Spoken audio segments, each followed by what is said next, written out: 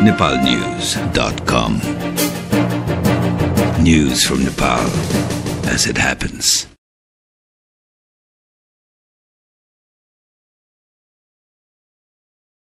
काठमाडौँबाट प्रकाशित नेपाली राष्ट्रिय साप्ताहिक पत्रिकाहरूको समाचार सार संक्षेपमा स्वागत छ दुई हजार उनसत्तरी साल भाद्र तीन गते आइतबारदेखि पाँच गते मंगलबारसम्म प्रकाशित साप्ताहिक पत्रिकाहरूले पछिल्लो समयमा विकसित भिन्न भिन्न घटनाक्रमहरूलाई आफ्नो प्रमुख समाचार बनाएका छन्। मोर्चाबन्दी डिजाइनमा गठबन्धनले मुलुक मुठभेडको राजनीतिमा शीर्षकको समाचारमा आइतबार प्रकाशित छलफल साप्ताहिक लेख छ। भारतीय डिजाइनमा एकपछि अर्को राष्ट्रघाती काम गर्दै आएको एकीकृत माओवादी नेतृत्वको सरकारले नेपाललाई अस्थिर पारेर चीनलाई देखाइदिने भारतीय चाहना अनुरूप मोर्चाबन्दी गरेको छ। भारतीय डिजाइन अनुरूप गरेको यो मोर्चाबन्दीले मुलुकलाई जबरजस्त मुठभेडको राजनीतिमा तानेको छ। कथित जनयुद्ध कालदेखि नै भारतीय स्वार्थमा काम गर्दै आएको एकीकृत माओवादीको गठबन्धनको खेलले राजनैतिक दलहरू बीचको तिक्तता बढाउने काम गरेको छ। सोही पत्रिकाले कान्तिपुरमा वर्षमान पुनको वर्षा सरकार विरोधी आन्दोलन नयाँ शैलीमा महसुल बढाउने तयारी अनियमितताले केयुकेएल विघटनको संगारमा मोर्चाको गठनसँगै प्रधानमन्त्री उत्तेजित शीर्षकको समाचारलाई पनि प्रमुखताका साथ प्रकाशित गरेको छ।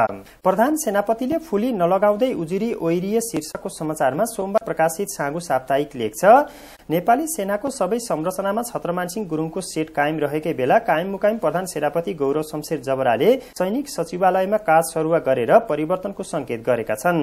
सैनिक सहायकमा सहायक रथी हिमालय थापा र सैनिक सचिवमा ज्ञानेन्द्र रायमाझीलाई काजमा लगिसकेका छन्। आफ्नो सचिवालयले उनले आफूले प्रधान सेनापतिको फुली लगाउनु अघि नै मजबुत बनाउन थालेको चर्चा चलेको छ।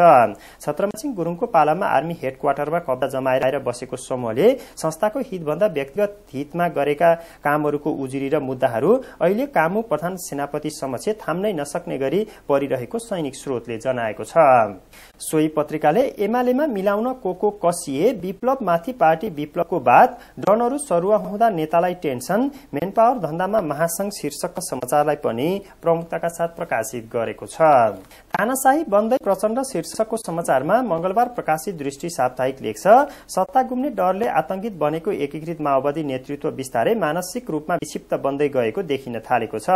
कामचन्द प्रधानमन्त्री डाक्टर बाबुराम भट्टराई निर्वाचन सम्बन्धी अध्यादेश फिर्ता पठाएको न्यूमा राष्ट्रपति डाक्टर रामवरण यादवसँग सिंगौरी खेल्ने जमर्को गर्दैछन् भने एकीकृत माओवादी अध्यक्ष पुष्पकमल दाहाल प्रचण्ड प्रतिपक्षी दलका नेताहरूको नामै किटेर विष ममन गर्दै हिँडिरहेका छन्।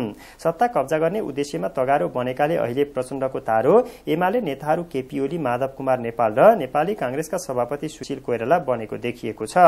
भदौ दुई गते धनुषाको बर मजियामा आयोजित पार्टीको कार्यक्रममा बोल्दै प्रचण्डले एमाले नेता ओली र कांग्रेस सभापति कोइरालाको कारण सहमति र संविधान नबनेको आरोप लगाएका थिए। नेताहरू विरूद्ध विस्मवन गर्ने क्रममा प्रचण्डले भदौ तीन गते रौतहटको चन्द्र निगाहपुरमा एमाले वरिष्ठ नेता माधव कुमार नेपाललाई पनि निशाना साधे। सोही पत्रिकाले भ्रष्टाचारको पक्षमा देउबा बम हत्यामा पोलापोल वैद्यलाई भारतीय कम्युनिष्ट पार्टीको गोप्य पत्र शीर्षकका समाचारलाई पनि प्रमुखताका साथ प्रकाशित गरेको छ। नयाँ मोर्चा कसको हितमा भरिया बन्ने पालो मधेसीको शीर्षकको समाचारमा मंगलबार प्रकाशित साप्ताहिक पुनर्जागरण लेख्छ एकीकृत माओवादीका अध्यक्ष पुष्पकमल दाहालको नेतृत्वमा बनेको संघीय गणतन्त्रात्मक मोर्चामा मधेसवादी दलहरूको सहभागिता हुनु आश्चर्यको विषय होइन तर प्रचण्डले पूर्वी नेपालको तराईकै एक जिल्लामा आयोजित कार्यक्रममा आफ्नो यो मोर्चा एउटै पार्टी समेत बन्न सक्ने सम्भावनातिर संकेत गर्नाले मधेसवादी दलहरूको लोकतन्त्र प्रतिको निष्ठामाथि गम्भीर शंका उत्पन्न भएको छ। एकीकृत नेकपा माओवादी उग्रवाद कम्युनिष्ट पार्टी हो। कम्युनिष्टमा पनि चीनमा माओ सितुङको सिद्धान्तलाई मान्ने पार्टी हो। त्यसले संसदीय व्यवस्थामा विश्वास राख्दैन। सशस्त्र संघर्षको माध्यमबाट सत्ता कब्जा गर्नमा विश्वास राख्ने यो पार्टीले यहाँसम्म आइपुग्नु उसको सुनियोजित रणनीतिको हिस्सा हो। देशका अन्य कम्युनिष्टहरूले माओवादीमाथि विश्वास गर्न नसकेको अवस्थामा मधेसवादी दलहरूले यसमाथि विश्वास गर्नु बुझि नसक्नुको छ। यो मोर्चाको गठनसँगै संयुक्त लोकतान्त्रिक मधेसी मोर्चाको औचित्य पनि समाप्त भएको मान्नुपर्ने देखिन्छ। हवस् त यस सप्ताहको आइतबारदेखि मंगलबारसम्म प्रकाशित राष्ट्रिय साप्ताहिक पत्रिकाहरूको समाचार सार संक्षेप। यति नै।